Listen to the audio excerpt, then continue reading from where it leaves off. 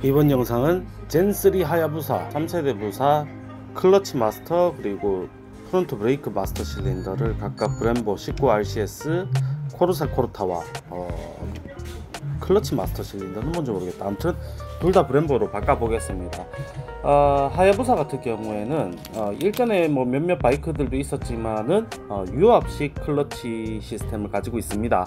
자동차하고 뭐 같은 방식이라고 보시면 되겠습니다. 자동차하고 유사한 방식인데 일반적으로는 와이어 줄을 당겨서 이제 클러치를 작동시키는 방식이 대부분인데 일부 고급 차종들이나 대형 바이크 같은 경우에는 어, 유압식 마스터 실린더가 장착되어 있어서 유압식으로 클러치를 움직여주는 시스템이 채용되어 있습니다.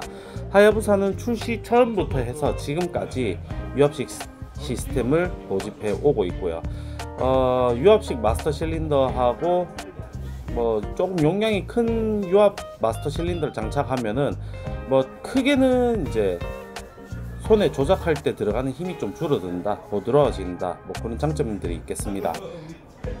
본 차량 같은 경우에는 이제 유압 라인 같은 경우에 순정 라인을 그대로 사용해서 장착을 했기 때문에 순정 라인에서의 약간 수정이 필요합니다. 각도가 맞지 않기 때문에 그 부분과 그리고 어, 유압식 유압 유압 시스템이기 때문에 bleeding 에어빼기 작업을 해야 되기 때문에 어, 오염될 수 있는 부분을 어, 미연에 방지하고자 어, front upper cowl를 일부 탈거를 해서 진행을 했습니다.